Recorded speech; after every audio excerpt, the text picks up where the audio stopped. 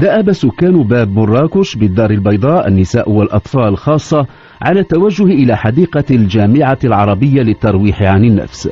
المكان متنفس حيوي لسكان باب مراكش ومنهم السيدة إرقية بنت عمر ذاك الثامن عشر من مارس من العام خمسة وألفين كان يوما مشمسا ربيعيا بامتياز. وكان سكان الدار البيضاء ومنهم سكان باب مراكش قد ألزموا بيوتهم لغزارة الأمطار التي شهدتها المدينة. ولذلك كانت حديقة الجامعة العربية يومها غاصة بالمتنزهين. الأطفال يركضون في كل الاتجاهات يصرخون ويضحكون ويمرحون بينما تشكلت حلقات للنساء في أرجاء الحديقة. كانت السيدة رقية بنت عمر قد صحبت معها طفلها ذي السنوات الخمس. وبينما كانت منهمكة في الحديث مع مجموعة من النساء غاب الطفل عن نظرها تفطنت إلى الأمر وقامت مسرعة تناديه. لم يكن يجيب. توجهت إلى زاوية من الحديقة ذات أشجار كثيفة. تراءى لها واقفا. أسرعت إليه. كان مفزوعا. وما أن اقتربت حتى اكتشفت هول ما أفزع الصبي. على الأرض بين كومة من الأزبال جثة ممددة على الأرض. جثة رجل اكتسحت وجهه جيوش من الحشرات. كانت جثة متعفنة. صرخت رقية بأعلى صوتها فهارع إليها المتنزهون والمارة. أبلغ أحدهما الشرطة. حضر إلى المكان العميد رئيس الدائرة الثانية. استمع إلى أقوال السيدة رقية بنت عمر هاتف ممثل النيابة العامة وطلب حضور الطبيب الشرعي ومصلحة التشخيص القضائي وسيارة لنقل الأموات. قام بما يمليه القانون في مثل الحالة القائمة في حديقة الجامعة العربية. لاحظ الطبيب الشرعي بعد معاينة أولية للجثة أن الوفاة تعود إلى سبعة أو ثمانية أيام خلت وأنها ربما نتجت عن إصابة بأداة حادة في جهة القلب. كان ضروريا إخضاع الجثة للتشريح للتأكد من ذلك. التقط خبير التشخيص القضائي صورا للجثة في الوضع الذي اكتشفت عليه. تعذر أخذ البصمات في عين المكان ولم يتم اكتشاف أي وثيقة تدل على هوية القتيل. بعد تلك الإجراءات رفعت الجثة من مكانها بعد أن أذن بذلك ممثل النيابة العامة. تم تفتيش المكان بعد أن أخلي من الجثة ومن الفضوليين. في الجوار تم العثور على ورقة بيضاء بدت وقد طويت بعناية. كان بها أثر دم. كتبت على تلك الورقة خمسة أرقام. أربعة منها متجاورة تسعة ثلاثة اثنان خمسة. الرقم الخامس وهو الرقم أربعة كتب بمعزل عن الأرقام الأخرى. غير بعيد بقعة دم أخذت عينة منها إلى مختبر الشرطة. تقرر أن توكل القضية إلى العميد أحمد الساودي من الشرطة القضائية. كان عليه أن يكشف هوية القتيل ويفك لغز الأرقام الخمسة. أكدت عملية التشريح أن الرجل قتل بوخز في جهة القلب سخرت فيه أداة حادة بطول ستة سنتيمترات. بسبب حالة التعفن المتقدمة للجثة كاد يستحيل على فريق التشخيص القضائي رفع بصمات القتيل. بجهد كبير تم رفع بصمة واحدة سليمة. لم تكن الأرقام الخمسة أرقام هاتف ولا أرقام تسجيل سيارة. ازدادت حيرة المحققين ولكن بصيص أمل ظهر فجأة. كان بين أعوان الأمن واحد على أبواب الإحالة على التقاعد. كان قد أضاع زهرة شبابه مقامرا. ما أن اطلع على الأرقام الخمسة حتى رجح أن تكون أرقام ينصيب اصطحبه العميد إلى مكتب بيع أوراق الينصيب الأرقام الخمسة كانت الفائزة بالجائزة الكبرى في الأسبوع الماضي. كانت قيمة الجائزة خمسة وثلاثون مليون سنتيم. فتح أمام العميد أحمد الساودي وفرقته مسلك جديد. في الثاني عشر من مارس ستة أيام قبل اكتشاف الجثة توجهت السيدة بهية بنت علي التي تسكن في درب ملة إلى الدائرة الأولى للأمن للإبلاغ عن اختفاء زوجها عبد الحكيم بن رمضان البالغ من العمر 35 عاما منذ ثلاثة أيام. قالت إنها بحثت عنه في مستشفيات المدينة وفي محل بيع السيارات المستعملة في زنقة بوردو حيث يعمل ولكنها لم تعثر له على أثر. أصدقاؤه أبلغوها أنهم لم يروه منذ ثلاثة أيام. السيدة بهية قالت إنها زارت أيضا مستودع الأموات ولم تجده هناك. تم إرسال مذكرة البحث إلى المصلحة الولائية للشرطة القضائية لتعميمها محليا ووطنيا. تضمنت المذكرة أوصاف الرجل وملابسه يوم اختفى. بدت الأوصاف مطابقة إلى حد كبير لأوصاف جثة حديقة الجامعة العربية. أثبتت قراءة البصمة الوحيدة التي أخذت من الجثة أن القتيل هو المدعو قيد حياته عبد الحكيم بن رمضان موضوع مذكرة البحث. أبلغ العميد السودي بالمستجدات. بادر بالتوجه إلى عنوان السيدة بهية بنت علي في درب ملة طلب منها الحضور إلى مستودع الأموات علها تتعرف على جثة زوجها. قالت إنها زارت المستودع في السابع عشر من الشهر ولم تعثر على زوجها هناك. ألح عليها الضابط. كانت زيارتها مستودع الأموات يوما واحدا قبل اكتشاف الجثة. لما حضرت تعرفت عليه. ولكنها لم تذرف دمعة واحدة. قالت كان مقامرا أغرقنا في البؤس.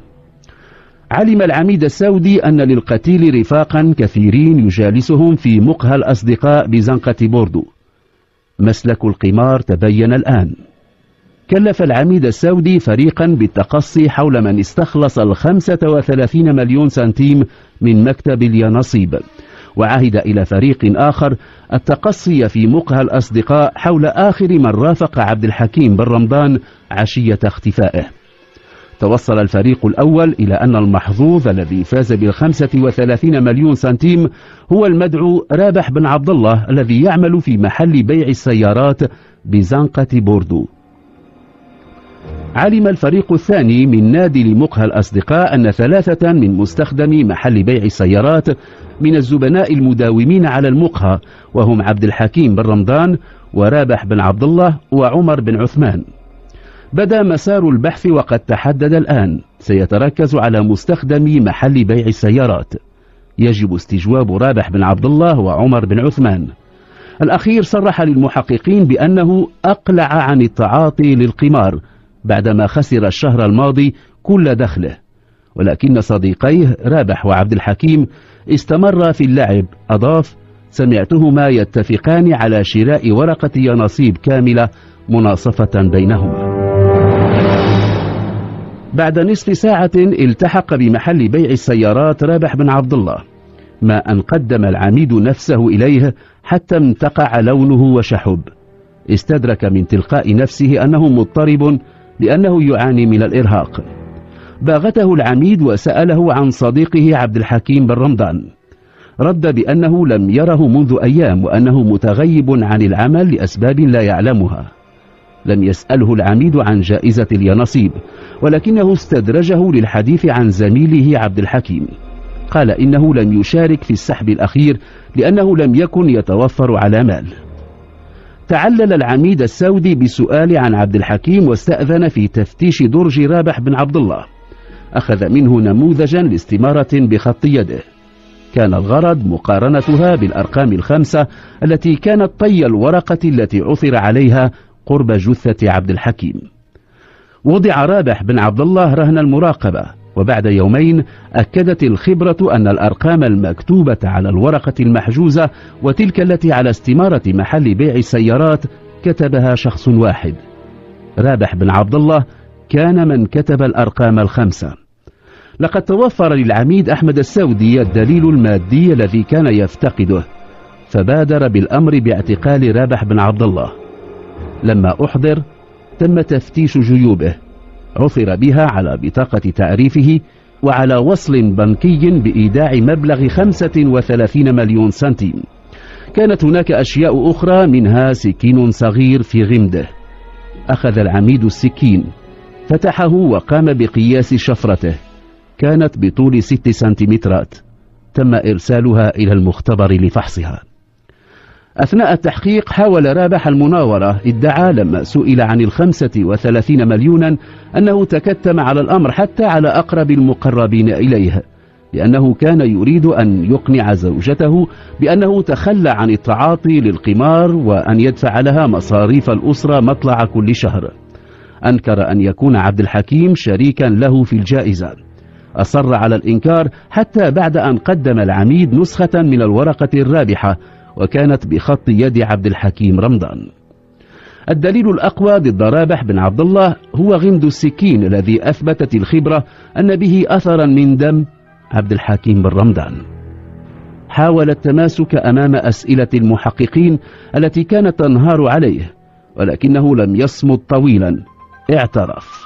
قال إنه وعبد الحكيم كانا يشتركان في شراء أوراق اليانصيب ولم يحالفهما الحظ على مدى سنوات للفوز بجائزة هامة. في المرة الأخيرة اشترك في ورقة اليانصيب الفائزة. ادعى رابح أن صديقه عبد الحكيم أراد أن يخص نفسه بقيمة الجائزة رافضا اقتسامها بل وحتى تسليمه ثلثها. نشبت بينهما مشادة كلامية احتدت وتحولت إلى اشتباك بالأيدي.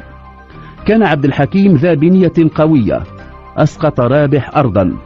استل الأخير سكينه ولحق به داخل حديقة الجامعة العربية. هناك طعنه على مستوى القلب. قال إنه فوجئ به يتهاوى على كومة من الأزبال. جرده من أوراقه ومن ورقة اليانصيب الرابحة. غادر الحديقة. ثم تذكر سكينه الذي بقي منغرسا في صدر عبد الحكيم. عاد إلى المكان كانت الجثة هامدة. استل منها سكينة. كان به أثر دم. أخرج من جيبه الورقة التي كان قد دون عليها الأرقام الخمسة. مسح السكين وألقى بالورقة. كان على العميد الساودي أن يجد وثاقا آخر يطوق به الضمين ويستخلص من أقواله. كان رابح قد اعترف بأنه ألقى بأوراق عبد الحكيم وراء سياج بناية في جوار حديقة الجامعة العربية. وحده كان يعلم المكان.